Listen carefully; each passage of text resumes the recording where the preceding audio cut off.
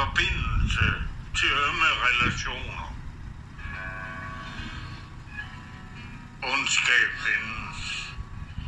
Men vi må lade det gode, det livsbejagende vinde.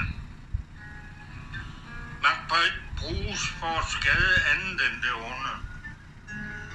Magt bør bruges som ressourcer til at berige livet. For alt til noget skønt og godt, noget lykkebringende.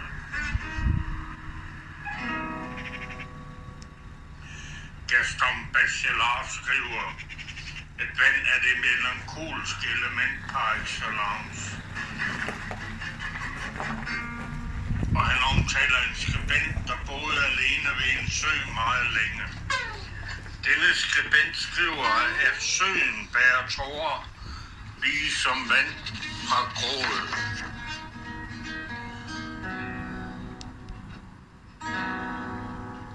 There must be a bridge. Rico. Puerto Rico. Got ho.